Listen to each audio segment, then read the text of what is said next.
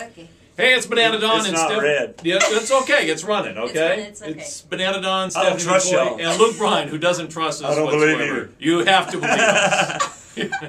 and uh, we want to thank uh, Luke for coming by here today. Rain is a good thing. Thanks, Luke. I'm kind of Sure. out of it. My coffee's not kicked in or has overkicked. I've overshot the mark.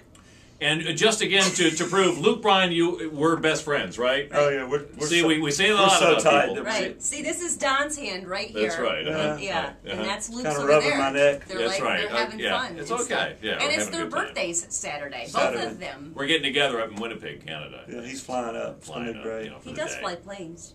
Do you? Sure. Oh yeah. Uh-huh. Yeah, he Fly crash him, crash him. I do whatever Yeah. it takes. Yeah. uh-huh, You got a water plane?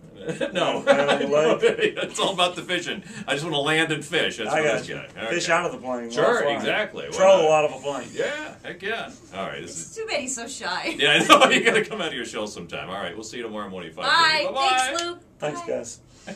Woo!